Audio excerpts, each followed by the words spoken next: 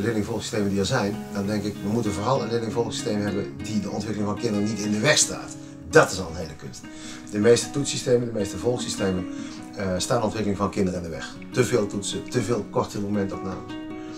Um, dus een kind-volgsysteem moet wat mij betreft natuurlijk welbevinden en betrokkenheid goed in beeld brengen.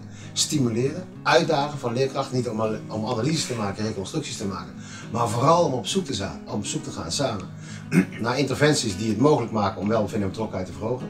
Dus het proces optimaliseren en natuurlijk moet je daarnaast iets kunnen zeggen over competenties of talenten of potentieel. Het maakt mij niet uit wat je doet, maar de kwaliteit die je meet.